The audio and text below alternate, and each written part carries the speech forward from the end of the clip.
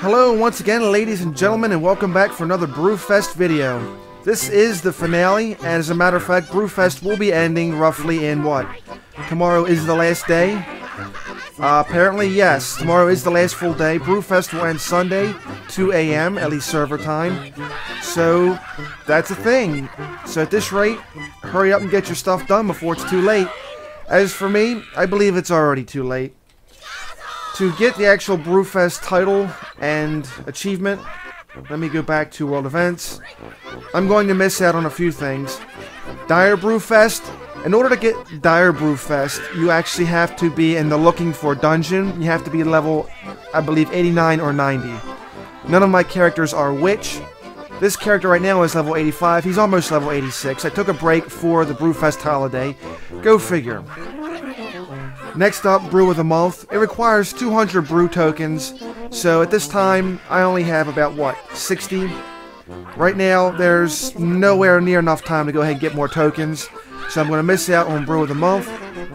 And the only one I can really achieve right about now is Down with the Dark Iron. And since the holiday is winding down, not many people are around to actually focus on it, so with all that said and done, there's not much I can really do at this point to get the title for myself. So it looks like this will be a 2013 type of year for me when I get the actual title under wraps. But for the most part, at least everything's done. Or at least some of it's done anyway.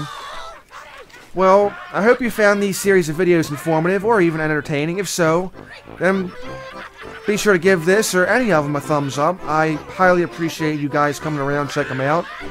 Hopefully they served some purpose for you. If not, then this may be laughs and giggles.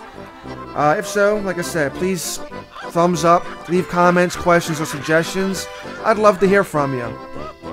As for me, only thing I really have left to do around here is go ahead and do a couple of dailies and get plastered. Yep, that's going to be a thing.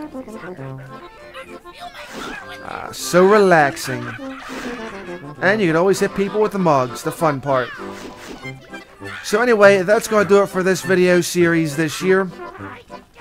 I will see you again next year with maybe a 2013 Brewfest update. Who knows?